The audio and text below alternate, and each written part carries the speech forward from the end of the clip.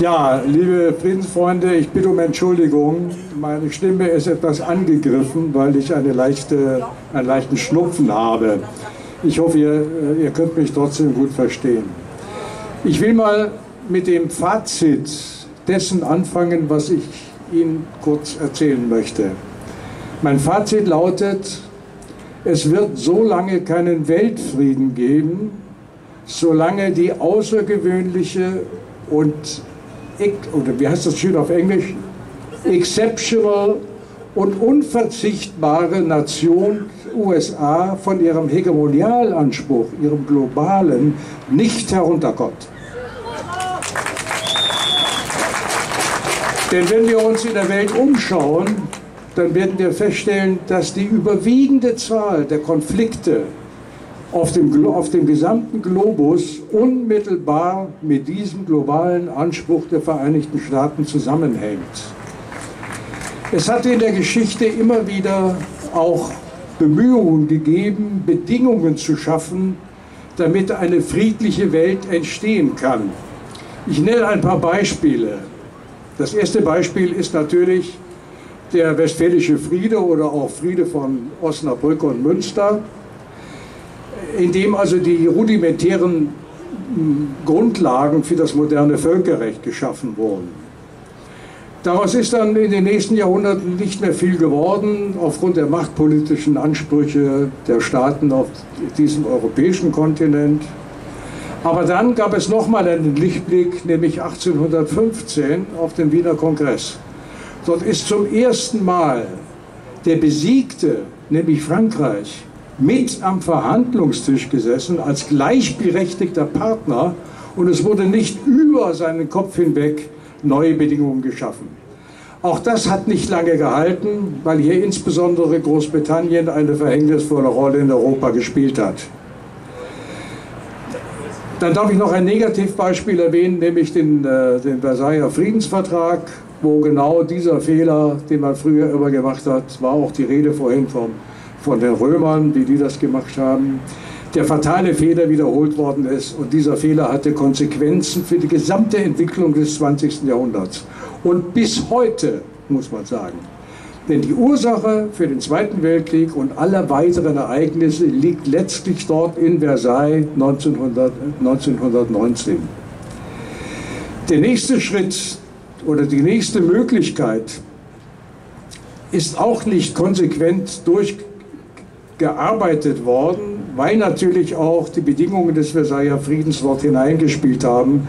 Das war der Völkerbund oder die Gründung des Völkerbundes.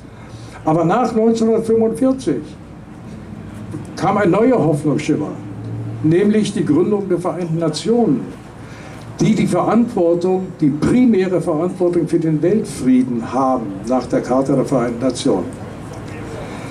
Im Kalten Krieg sind diese Dinge etwas überdeckt worden, weil natürlich der Hauptwiderspruch oder der Hauptgegensatz zwischen der Sowjetunion und dem, den Vereinigten Staaten war.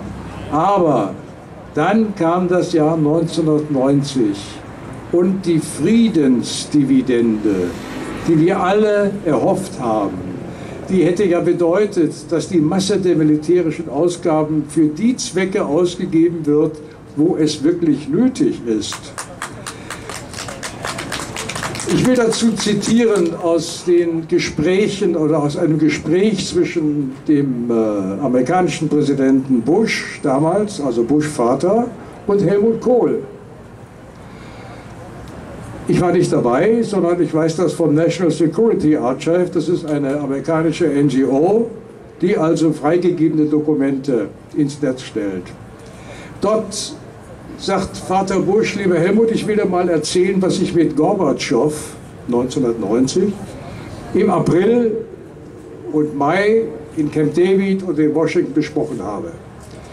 Und dann sagt er, der Gorbatschow hat große Bedenken, wenn das wiedervereinigte Deutschland in die NATO aufgenommen wird, weil dann die Balance innerhalb Europas zwischen den USA und dem, oder dem Westen und, den, und, und, und Russland zu Ungunsten der Sowjetunion damals noch verschoben wird.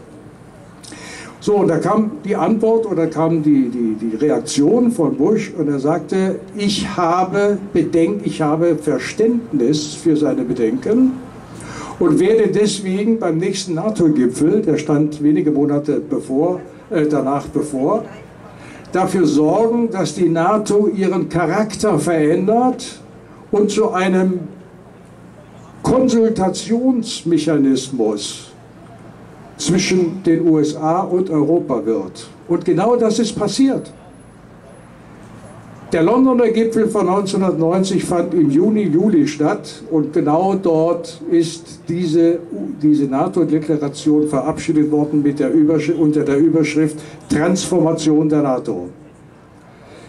Die Zeichen, dass das nicht auf dauerhaft passieren würde, deuteten sich bereits in Foreign Affairs Ende 1990 an mit einem Artikel von Charles Krauthammer, Der unipolare Moment wo darauf hingewiesen wurde, den müssen wir jetzt nutzen, denn wir haben ja den Kalten Krieg gewonnen und das soll dann auch so bleiben und die Dominanz der USA über die Welt soll fortbestehen bleiben.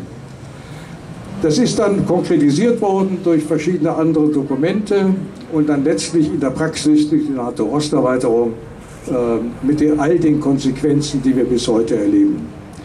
Ich wollte das nur vom Hintergrund der Geschichte mal erwähnen, damit man weiß, wie lange diese Dinge bereits geplant und dann umgesetzt worden sind.